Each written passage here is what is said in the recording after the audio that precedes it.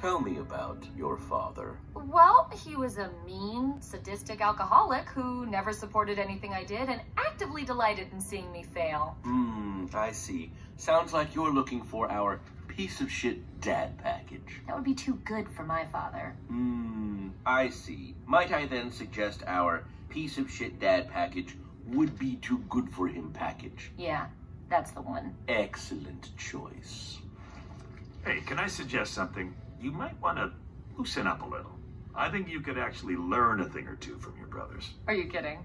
If I was like my brothers, nothing would ever get done. I'm just saying, if you can't find a way to let off some steam, you're going to explode. God damn it, are you goddamn kidding me? I keep getting calls from this unlisted number. Ignore. Who are these assholes? Why don't you just answer and then you Oh, they just love that, they?